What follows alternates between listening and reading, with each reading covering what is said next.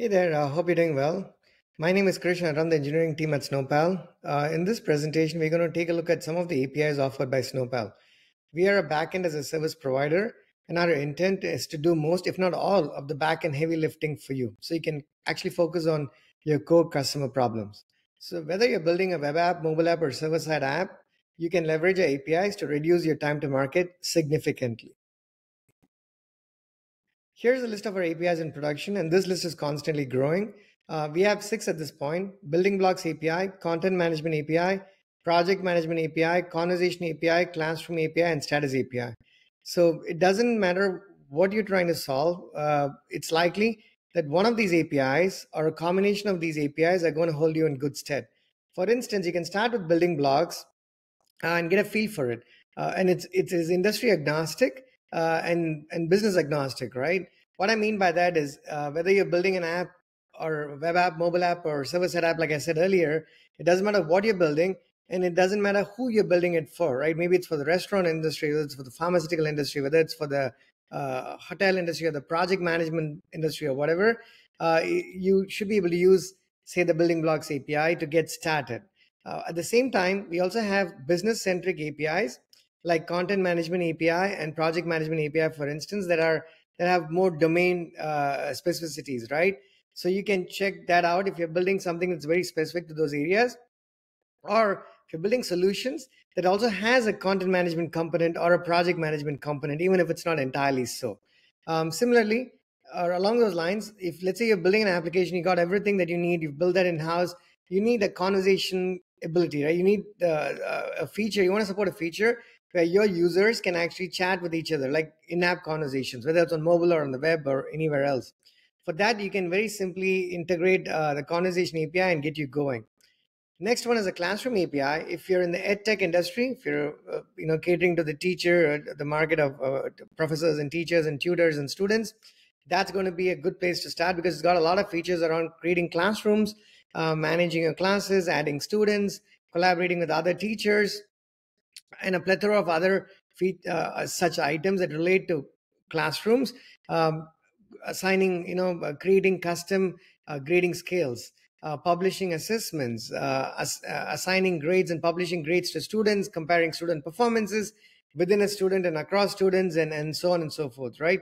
the next one, Status API, is if you're building, let's say, a Slack application to manage statuses, that's actually a good one to start with. It's got about 70 endpoints uh, compared to the other ones that have like uh, over 300, 250, 350 endpoints. Collectively, there's th- over 1,300 plus endpoints at this point, and that list, that number is constantly growing. So that gives you an idea of the breadth of the problems you could potentially solve using our APIs. So get started. Again, like I said, the number is six, and the endpoints are like close to 1,500 or 1,350 or something along those lines at this point.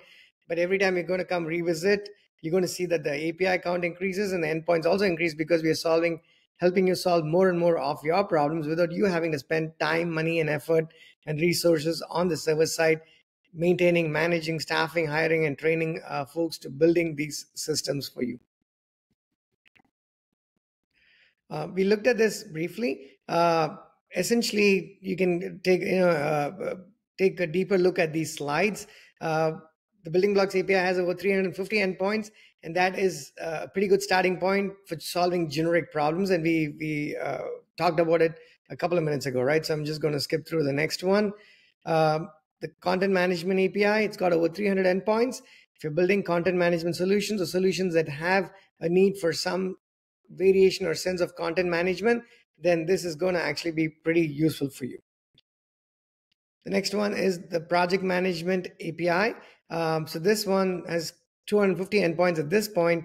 Uh, and if you're building solutions that have that have a need for Kanban and scheduler and bulk actions and just uh, the typical things and the atypical things that you would expect from co- project management systems, this is a good API to get started with. And again, you can mix and match these APIs and endpoints, right? You start with one, you find that you could use an endpoint and another API, you can very easily integrate it, uh, all our APIs in our ecosystem. It actually takes no more than like 10 minutes to get started with any of these APIs.